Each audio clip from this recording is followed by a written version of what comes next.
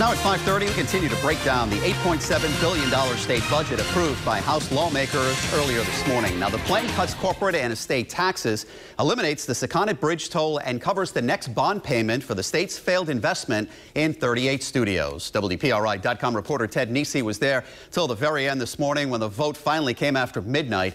He joins me now with more on the pros and cons for taxpayers. Anytime you're looking at this, Tim, there are winners and losers. The business uh, community, are they happy with the corporate tax cut? Quite happy. The Greater Providence Chamber of Commerce swung big support behind this. As you said, the corporate and estate tax cut, they've been asking for those things for years, and they got them here. Another winner, as you said, people who use the Sakonnet River Bridge. That fight, there was real people power behind that push on the Sakonnet River Bridge not to have tolls, and they finally succeeded by putting a lot of pressure on their reps. Also, healthcare and education get a lot more money in this budget, tens of million dollars more for local schools, and hundreds of millions more for Medicaid for low-income Rhode Islanders. All right, so those are the winners. How about the losers? You know, we're talking about cutting taxes, but the gas tax is going to go up. That's absolutely right, Mike. You know, the average taxpayer, this, they're going to feel some hit in here. I mean, Susan Campbell said it 5 correctly, you're going to pay more at the pump. The gas tax is now going to go up automatically every other year. Some of the vehicle fees will be going up, all that to offset having no tolls in the Sakonnet River Bridge. There's also no change to the sales tax, no change to property taxes.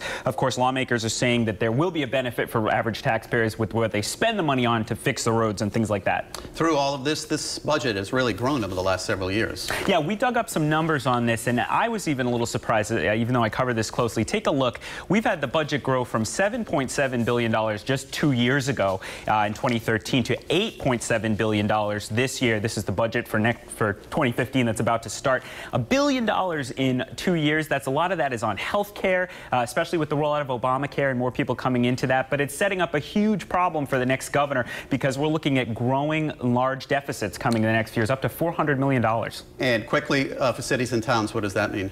Not too much change so far, but you know, the head of the Rhode Island Association of School Committees, Tim Duffy, says Rhode Island is facing its own fiscal cliff, and he's worried that's going to come down on the cities and towns in the coming years. All right, Ted, thank you very much, and stay with Eyewitness News for continuing coverage of the state budget. Coming up at 6, we're digging deeper into the measures involving 38 studios. We're tracking the votes of former House Speaker, State Representative Gordon Fox. Plus, you can get more in-depth coverage online right now at WPRI.com.